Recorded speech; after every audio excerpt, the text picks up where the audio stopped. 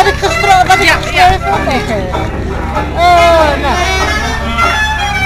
Uh, moet u uh, spreken? Ehm, de winkels op het Purmerplein zijn mijn favoriet omdat het mij de sfeer en het ambachtelijke geeft hoe.